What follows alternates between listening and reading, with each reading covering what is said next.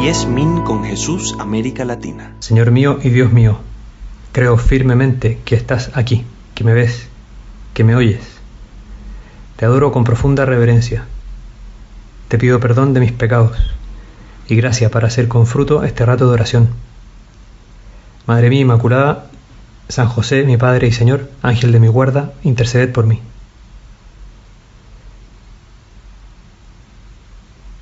Es súper fácil imaginarse a San José, a Jesús, a la Virgen María también, ¿verdad? Es súper fácil imaginárselo em, trabajando en el día a día, contentos, eh, intensamente metidos en lo que están haciendo. Es fácil imaginárselo.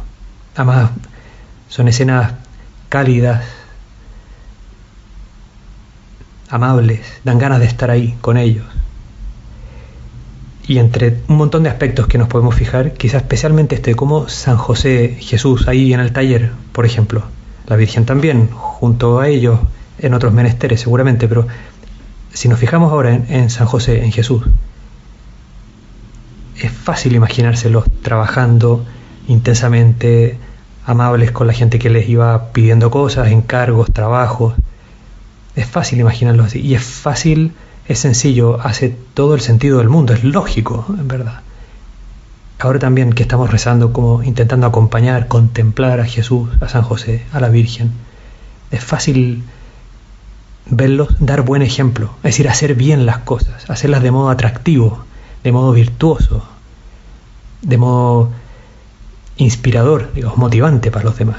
Qué ganas de trabajar como ellos, qué ganas de sonreír como ellos, qué ganas de tener un ambiente en el taller de trabajo como el que hay en el taller de José de Jesús, qué ganas de que en mi familia haya ese aire, ese, ese estilo de la sonrisa, de la paciencia, del cariño que hay en, entre María, José, Jesús. Qué ganas de que en mi casa fuera así, qué ganas de que en mi taller sea así. Pensaría la gente en Nazaret y los que lo iban conociendo. Es fácil pensar en esto, imaginarlo y ahora también como contemplarlo un poquito con la ayuda del Espíritu Santo.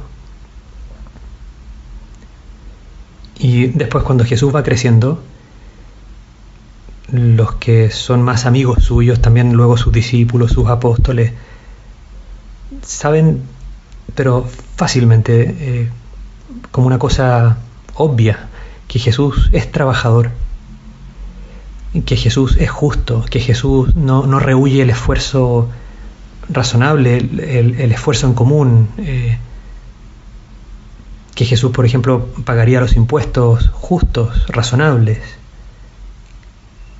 Les parecía evidente. De hecho, si uno se fija en el Evangelio de hoy día, lo cuenta San Mateo.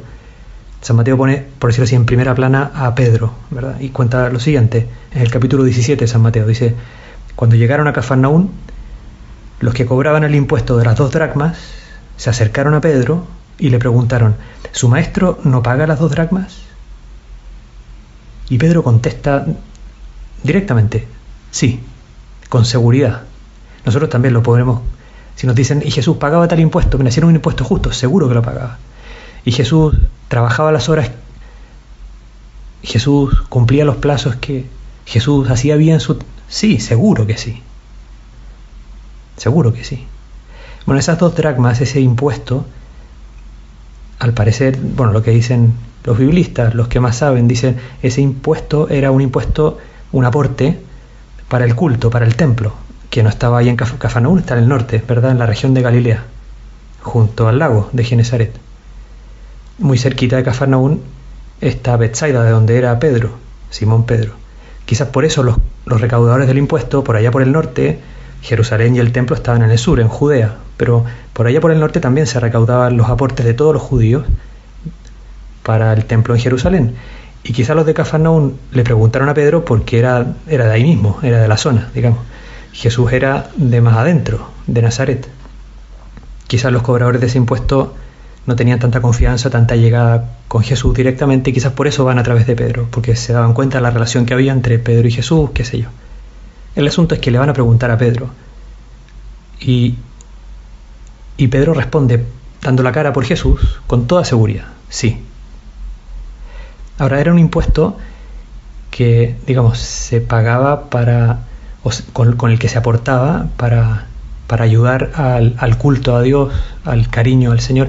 Realmente uno dice, en verdad, en verdad, toda la vida de Jesús era darse a la gloria del Padre, cada respiración de Jesús.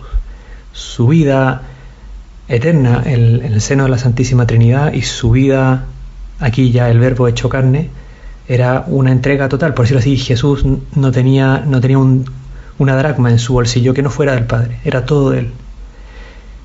Y en verdad también era, era, por decirlo así, un impuesto o hacia alguien, hacia Dios. Pero, y por eso pregunta luego Jesús, cuenta San Mateo, cuando llegó a la casa, Jesús se adelantó a preguntarle a Pedro, ¿qué te parece, Simón?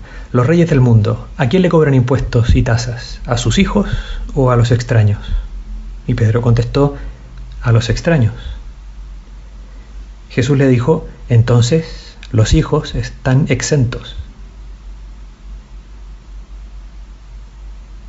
En verdad, todo lo de Jesús, el Hijo del Padre, es del Padre. Jesús no es, por decirlo así, de los extraños, no es de los de fuera de la casa, es... Y sigue diciendo, sin embargo, para no darles mal ejemplo, ve al mar, echa el anzuelo, agarra el primer pez que pique, ábrele la boca y encontrarás una moneda de plata. Tómala y págales por mí y por ti. Y dicen que esa moneda de plata valía cuatro dracmas, es decir, las dos dracmas de Jesús y las dos dracmas de Pedro. Tómalas, toma esa moneda de plata, toma eso y págales. Págales por mí y por ti. Y nos puede servir esto de ver a Jesús eh, como tiene las cosas muy claras, tiene los principios muy claros, en sentido de, si él tenía el deber así, en, en estricto sentido de pagar o no pagar el impuesto, en estricto sentido no, porque él era el Hijo de Dios en estricto sentido. Ahora, como bien dice el Señor, sin embargo, para no darles mal ejemplo, anda al mar y etc. A Jesús le importa dar buen ejemplo.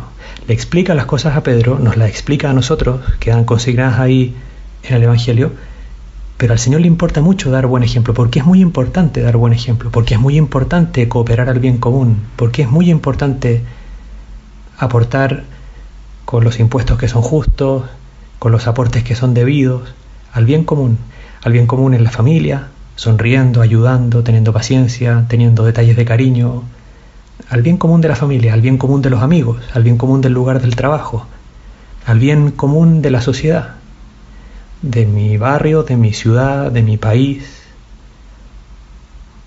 Es bueno, es importante esto. Quizá ahora, haciendo la oración, nos sirve mirar a Jesús como tiene las cosas muy claras y, precisamente porque una de las cosas que tiene muy clara el Señor es que es importante construir la familia, el barrio, el lugar de trabajo, la sociedad con los demás. Precisamente porque es muy importante esto, vale la pena ser delicado, ser atentos. Jesús no estaba obligado en estricto sentido a pagar ese impuesto, pero Jesús prefiere pagarlo recurriendo a esta manera y en verdad también por decirlo así, ese trabajo que se iba a dar Pedro de ir a pescar al lago, de, que picara el pez, sacarlo y etcétera, mm, también es justo con Pedro, porque no le pide un trabajo así porque sí, sino que Pedro con ese trabajito de sacar ese pescado era una cosa sencilla, pero, pero así también Pedro tenía para pagar su impuesto. Seguro que el Señor mm, quizás nos quiere ayudar con alguna idea, con algún propósito hoy día. Quizás ya es una cosa buenísima ver al Señor como es un ciudadano responsable, presente, activo, participante. Y a esto nos sirve mucho. Luego ver que los cristianos tenemos que ser así, eh, con, una mentalidad muy, muy limpia, muy de justicia, de amar al mundo, la sociedad, el construir con los demás. Y esto así con pasión, con gusto, con ilusión. Bueno, contemplamos a Jesús vemos cómo le enseña a Pedro, cómo nos enseña a todos nosotros. Y quizás podemos terminar también pidiéndole, Señor, ayúdame. A veces no es tan fácil, ¿verdad? Hay que, hay que ver bien cuándo, cómo, con prudencia, para vivir la justicia. A veces no es tan fácil, para eso hay que leer, para eso hay que formarse, y qué bueno el catecismo, y qué bueno conocer un poquito más de la doctrina social de la Iglesia y estar informados y saber de la actualidad y de la política y la economía y de la cultura y del arte. Bueno, quizás podemos terminar pidiéndole esto al Señor, contemplándole a Él, pero también pidiéndoselo para nosotros. Y de nuevo podemos acudir al cariño, a la intercesión de la Virgen de San José. Te doy gracias, Dios mío, por los buenos propósitos, afectos e inspiraciones que me has comunicado en esta meditación. Te pido ayuda para ponerlos por obra. Madre mía Inmaculada, San José, mi Padre y Señor, Ángel de mi guarda, interceded por mí.